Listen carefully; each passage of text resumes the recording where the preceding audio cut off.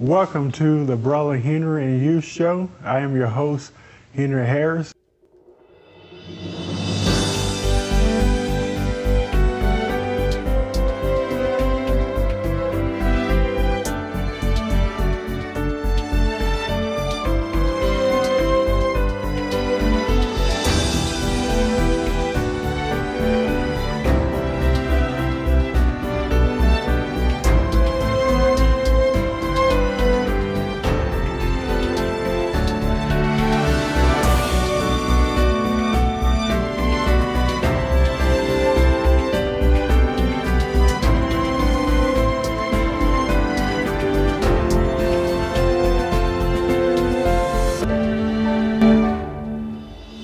Welcome back to the Brother Henry and You Show. I am your host, Henry Harris.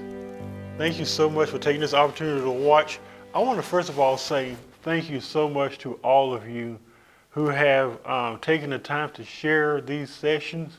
Um, we're on session six now, but many of you have been very committed um, in sharing these. My motive is I want to get this out there. I want people to know that there's freedom from religious trauma. So I want, before I even get into this, I just felt like I need to let you know and want to say thank you for doing that. We still have several more to go. We're into week six, and um, I was going to stop at session five, but I wanted to keep it going because there's so much to unpack about this subject. And um, Today I want to talk about religious bullying, how to spot a religious bully. And the reality is, is that religious bullies are everywhere. Bullies are everywhere. And many of us have had our share of dealing with bullies, uh, well as in our workplace or well as in our school environments and just in general, just in everyday living. All of us have been bullied by something or someone. I remember when I was in school, when I was a little kid, I was bullied often. Um, and it makes you feel a certain way. It makes you feel bad about yourself when you have somebody that's more powerful and more bigger and more intimidating to do that. Well, in the context of religiosity, that's the same way. Religious bullying comes across as intimidating and powerful and bigger. And their job is to intimidate you and make you feel bad or less than. Bullies are often hard to avoid and they can be very aggressive. In this session, I want to discuss uh, religious bullying and how we can spot it. And what I mean about spotting it means that ways that you can identify it. Like when you see it, you can say, that's a religious bully. But also, I want this to encourage you in the aspect of learning how to not tolerate it. You don't have to tolerate any bullying in general, but especially a religious bully, you don't have to tolerate it. I believe in my heart that until you learn about it, you will be able to deal with it more effectively. So let me first of all say that um, I know firsthand how it feels not only to deal with bullies in the secular world, but I have dealt with them in the church world. Have you dealt with religious bullies in the church world? It is very common to deal with bullies in the world. But it's another thing to deal with bullies within the church. Trust me, there is a huge difference. Did Jesus ever bully anyone? Did Jesus ever make himself into this powerful figure that was intimidating and going out inflicting pain and wounding people and hurting people? I think not. So there is a huge difference. We must understand that bullying is not okay under any circumstances, and neither is it okay for you, you to accept the behavior of the religious bully. If you're being religious bullied today, don't you dare say, Well, I deserve it. It's okay. It's normal. This will never change. No, you have to change the narrative. You have to change the way you think. You have to say, no, this is not okay. I don't have to be religious, uh, experience religious bullies in my life. I don't have to tolerate bullying, period. You have to say that. You have to set boundaries. You have to set the standard when it comes to religious bullying. I don't care if it's coming from a Bible study group, a church, or any religious organization. It may be tough dealing with a religious bully, but you must stand your ground. Religious bullies have many motives, but one of the motives that they have is to traumatize you. If you have notes, you may want to write that down. There's their, that's their main goal. That's their method. That's their objective. If you want to call it a agenda, that's the agenda of the religious bully is the overall, they want to traumatize you. And oftentimes they use scriptures to do that. They use scriptures to bully you. They are highly aggressive. As I said earlier, they are highly intimidating. And also, they are very forceful. There are times a religious bully may attempt to make you feel less than, or they may make you feel bad, maybe for something that you don't know or aware of. So they will try to demean you and dehumanize you and devalue you because of something that you didn't know. Just here recently, not too long ago, there was a um, young lady who experienced religious bullying on my Facebook page, and I had to take care of it because she shared her thoughts from a scripture that she felt like God laid on her heart.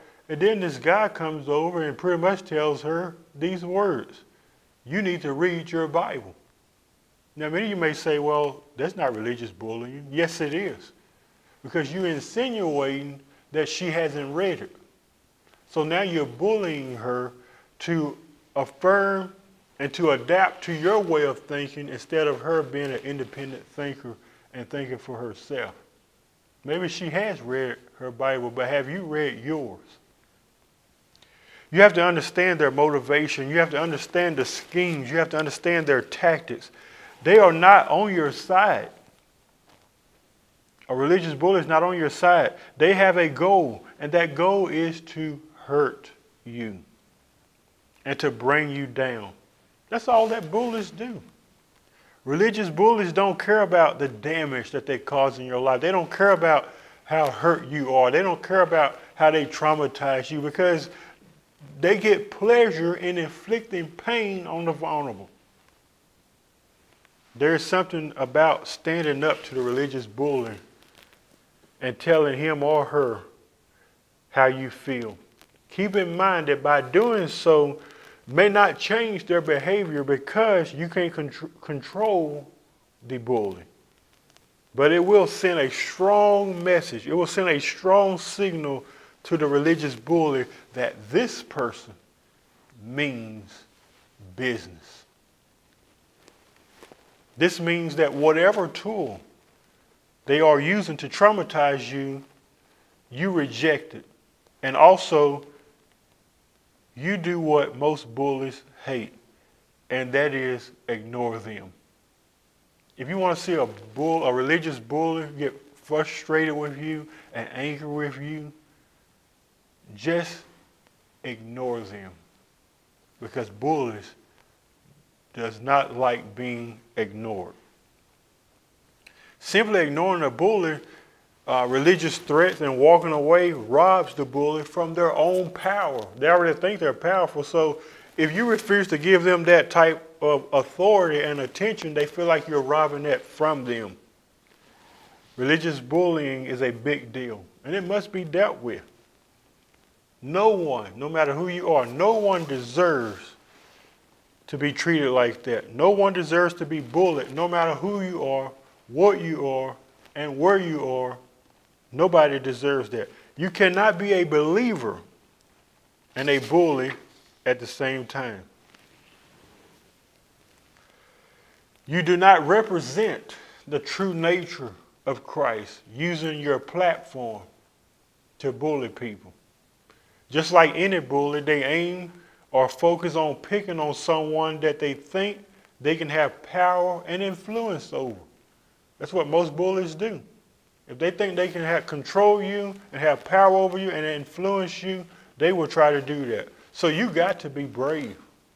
You can't be naive and say, oh, it's okay. No, it's not okay. How many times I have to say that? It's not okay. You have to stand up for yourself. We're talking about religious trauma. You got to stand up for yourself. Many people today, even on social media, you are being religiously bullied daily and you can't spot it. You can't identify it. You think it's okay. You have accepted it. You have normalized it. I see it all the time. Even on my page, it happens. But when I see it, I block them with no explanation because you don't have to entertain that. You don't have to deal with that. They throw your posts and they bully you in the comments section. And we sit there and allow them to be negative within your space. How often do we do that? How often have you allowed somebody to bully you on social media or even in real life? How often have you allowed a religious bully to not only come into your space and hurt you and traumatize you and do you wrong, but you have allowed them to violate your space? This is where you need to seriously set boundaries. I mean, seriously set boundaries, or they will continue to hurt you, or they will continue to traumatize you. Bullies hate boundaries. Boundaries doesn't always keep us from being hurt or traumatized, but at least it will eliminate a lot of it. But you have to first of all start it. So what is religious bullying, if you may ask? Religious bullying occurs when a religious or religiously unaffiliated person chooses intentionally or unintentionally degrade another person emotionally, mentally, or physically. A religious bully will degrade you for many reasons. And here are a few reasons that they may degrade you. Number one, maybe you don't share the same beliefs as they do. I see this happen all the time. And we got so many people that has vast beliefs. Their, their, their beliefs are very diverse. I've said this and I'll say it again. Nobody believes the same. You may have some people that may believe share the same beliefs. That's good. It's great to connect with people who uh, where you have the same faith or you may believe the same things. But at the same time, if you run into somebody that may not share the same beliefs as you or share the same faith as you or believe as you or like you, that doesn't give you a right to bully them or to treat them differently. Number two, failure to be in agreement with them or how they view Scripture. That's kind of like what I just said about number one. Sometimes people are bullied because you're not agreeing with that person, or maybe their narrative or perspective of how they see things. Number three, they are very aggressive and angry. Number four, they are famous. A religious bully, pay attention, is famous for attaching labels to you. They will call you a deceive, a liar, false. And oftentimes, it comes from their own insecurity. And secondly, they do it because what you're talking about is something that they do not understand. Number five, and I've seen this happen a lot, a lot. They will insult you or even go as far as cussing you out. Number six, they will make you feel as though they alone have the truth. You don't. You don't have the truth, but they have the truth. And you have to come into alignment with their truth. That's religious bullying.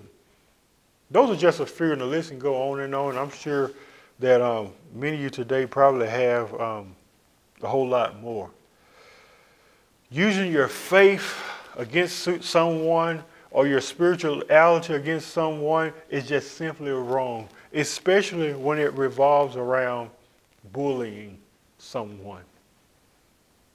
You need to get this in your spirit today that you have a right to believe what you believe.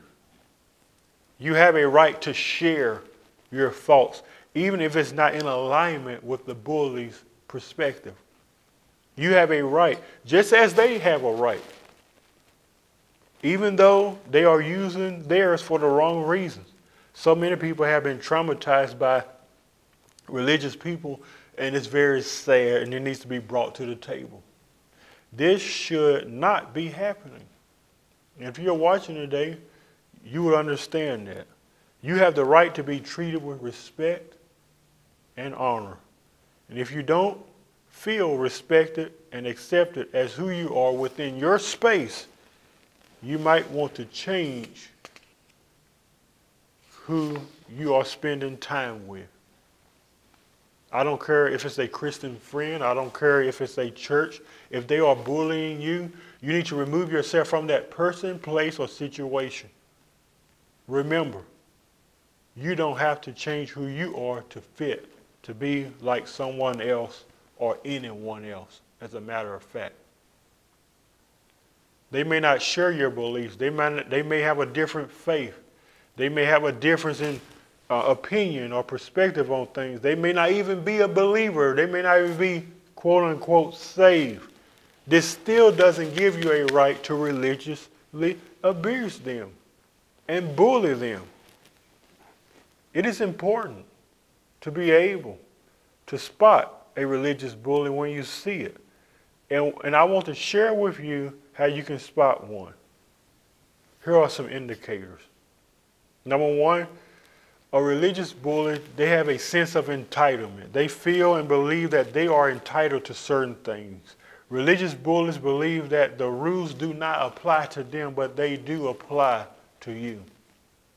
Number two, uh, they have difficulties managing their emotions. Remember, I said earlier they're very angry and aggressive. Oftentimes, this happens when they lose control over the or power over the person that they are bullying. Number three, religious bullies are often aggressive and assertive, and they do not attempt to hide their aggression or even to be in denial about their aggression. Number four, they violate your boundaries, and don't let them do that. Whatever rules you set in place, they tend to ignore it and step over those boundaries. If this happens to you, you really need to cut off all connections with that person. Number five, they speak down to you, and sometimes they even try to embarrass you publicly. Number six, they manipulate you. Guilty is a bully's tool of choice. And in most situations, they will use it to, until they get their way or to have their way. Number seven, most religious bullies are very homophobic and don't like anyone that is different than them. Religious bullying is a problem in the world, and it is a strong force that really needs to be stopped today. But you can make the decision to stop bullying. And to those of you who are on the other end who are bullying people, I want to tell you that maybe you need to stop. Say no not only to religious abuse, but also say no to religious bullies. I want you to join me next week.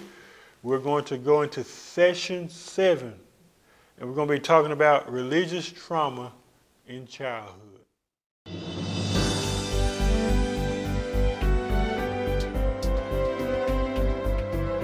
We hope you have enjoyed today's program.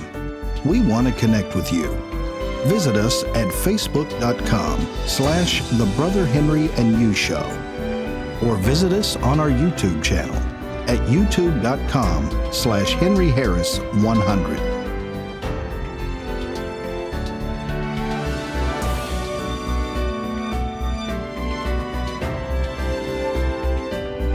We're so grateful you tuned in today and hope you have a fantastic day.